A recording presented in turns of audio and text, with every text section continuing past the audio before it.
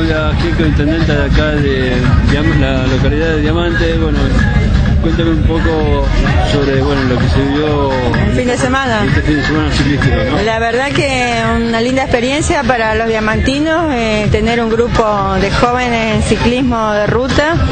Eh, acabamos de entregar premios de, de dos de las etapas, creo. Así que contenta de que vengan a Diamante, de que puedan disfrutar de Diamante, de acompañar una actividad tan importante como es el ciclismo, de poder ver la fortaleza de estos chicos y el espíritu de la juventud en el deporte. Eh, siempre en mi discurso dije que los, jóvenes no son el futuro, sino que son el presente.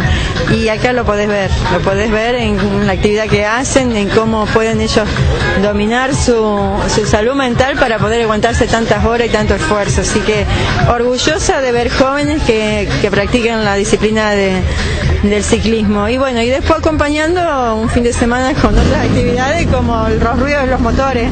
Así que un fin de semana de mucho movimiento.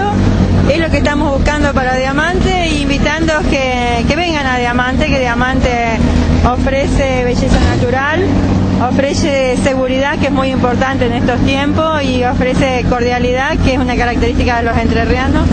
Así que muy, muy contenta de que nos visite tanta gente. Bueno, muchas gracias. ¿eh? Gracias a ustedes.